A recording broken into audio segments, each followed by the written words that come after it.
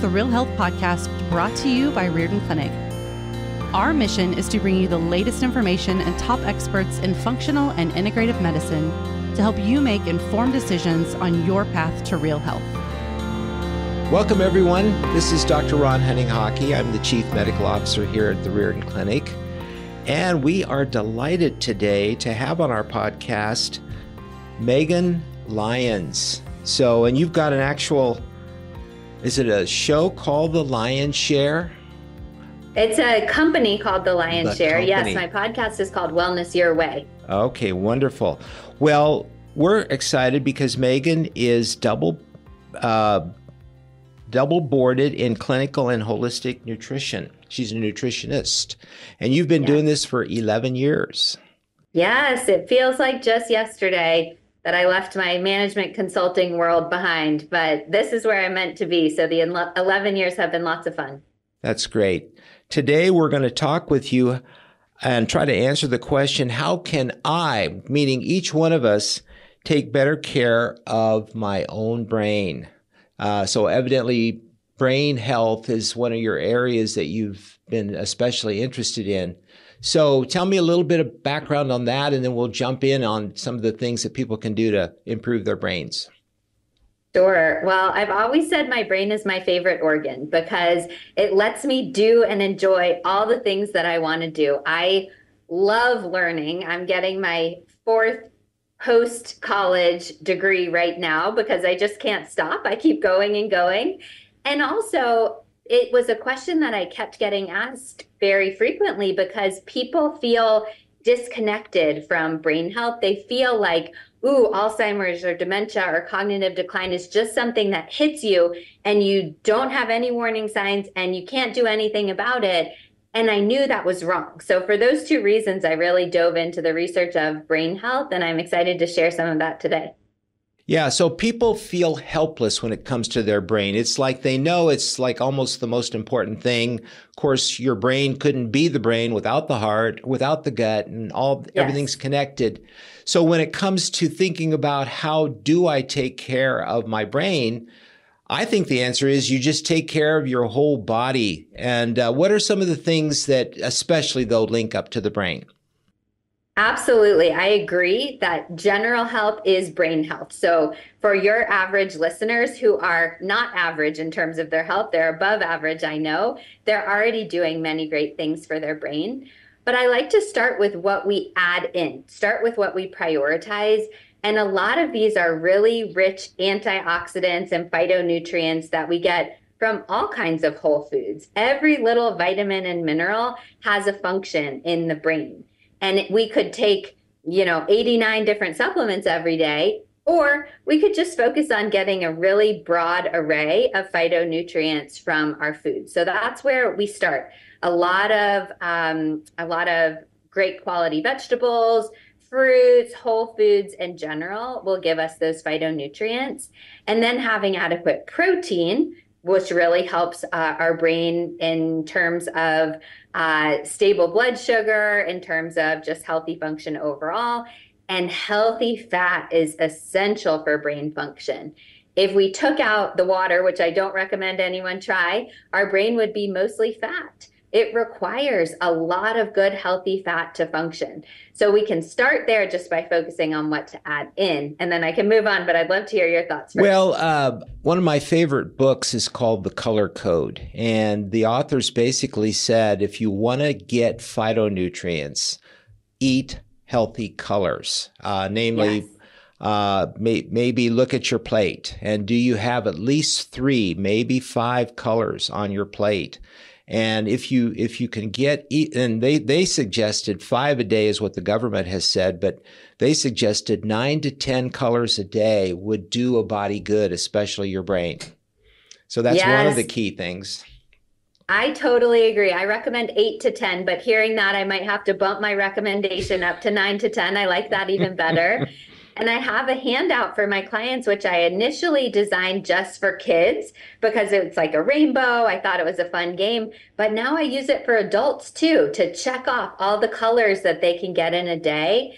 It's really amazing that even for people who feel like they're getting a lot of vegetables, we tend to not get that big spectrum. People, maybe they like carrots and sweet potatoes and cantaloupe, or maybe they're getting a salad every day, which is great for leafy greens, but it's rare that they're getting a, a broad array of colors. So you're really saying eat the rainbow. You don't want to get just one color, but you want to get six, seven different colors in addition to two or three of each. Absolutely. so, yes. So great. Hey, I thought of something when you were talking about oils, and, and maybe we could touch on this that uh, the there's too much omega 6 seed yes. oils coming into the diet, especially from uh, fast foods and restaurants. Could you talk a little bit about that? Because those are devastating to the brain and to other parts of our body as well, of course. Absolutely. So the three primary omega fatty acids that we think about are three, six, and nine. And we actually do need all of those. So if we took out all omega sixes from our body, that yeah, would not be not good. good. Right.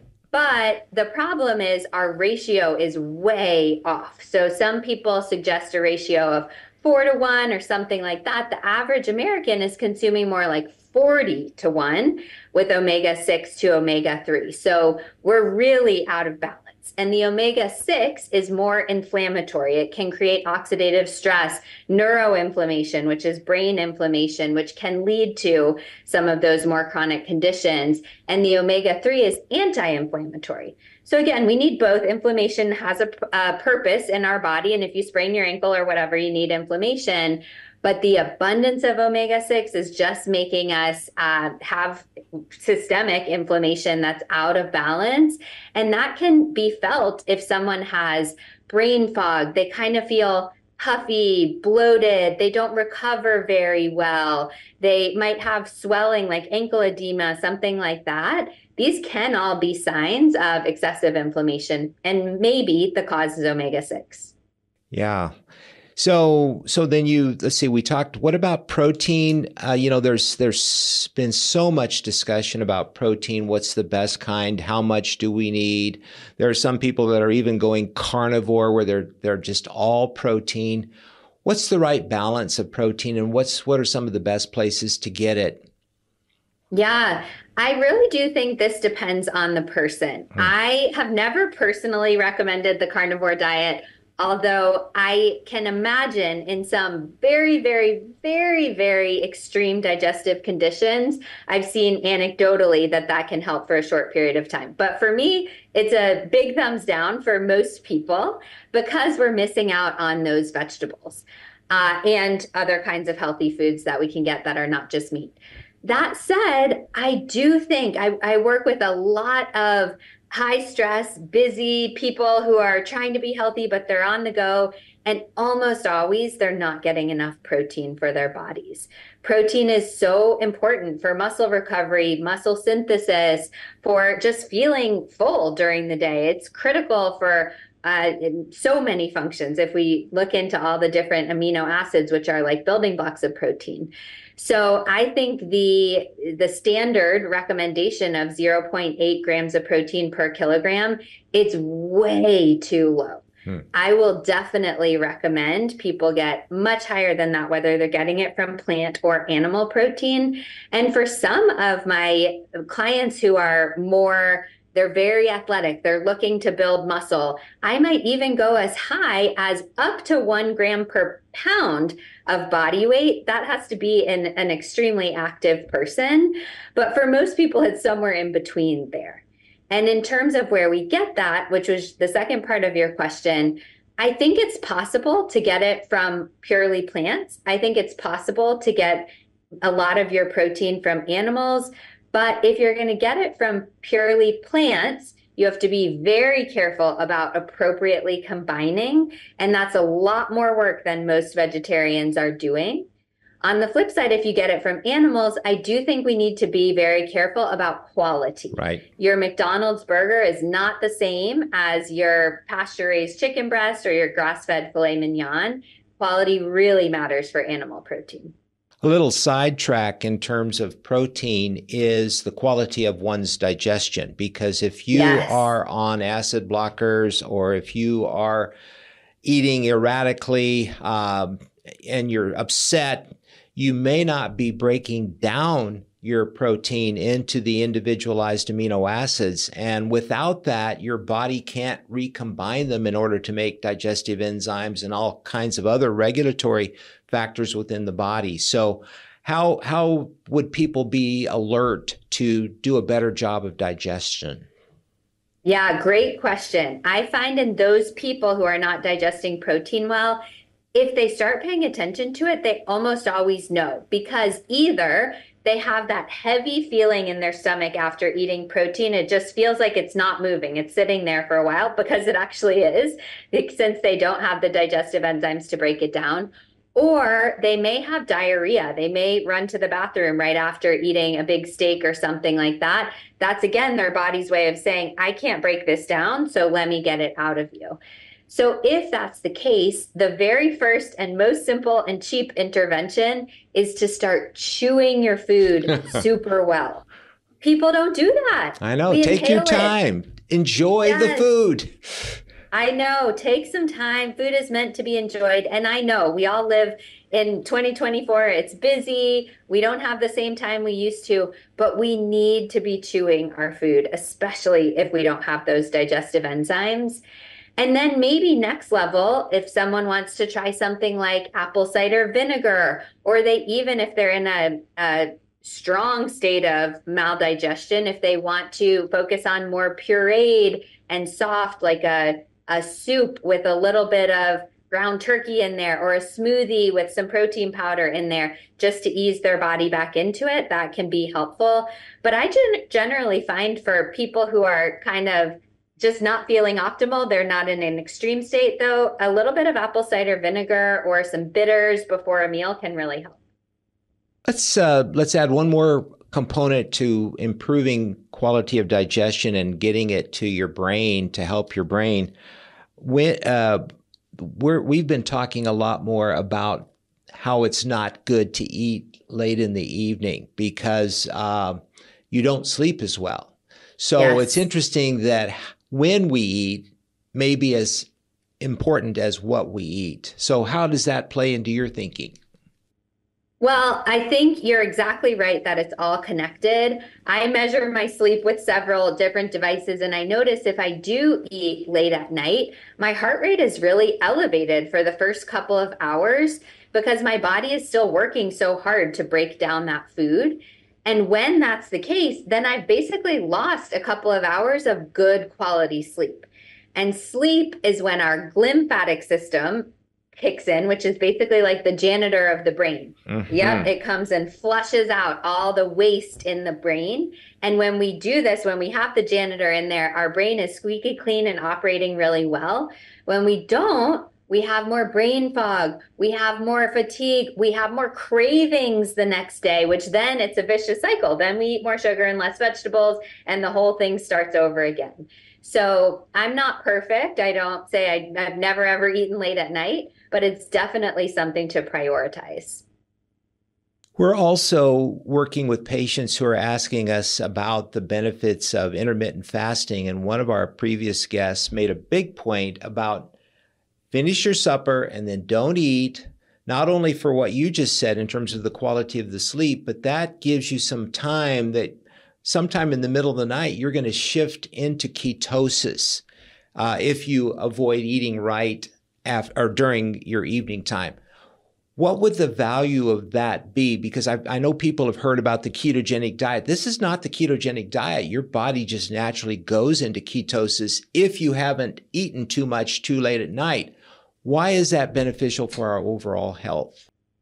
Yeah, great question. And I think I agree with your statement if you haven't eaten too much too late at night, but also if you haven't eaten too much then and the right quality throughout the day. So I can imagine someone who all they eat, and I, I don't mean to demonize any food, there's room for everything in moderation, but let's say someone ate 35 donuts during the day, but they stopped eating two to three hours before bed. Good point. They're still not going to get gonna have a, It's not going to work. no, but assuming someone's eating a reasonably healthy diet during the day, The shift over into ketosis just means your body moves from burning sugar, which many of us do most of the time throughout the day. It shifts over into burning fat. And that's really great because many of us are looking to optimize our body composition and we could use the boost of burning more fat.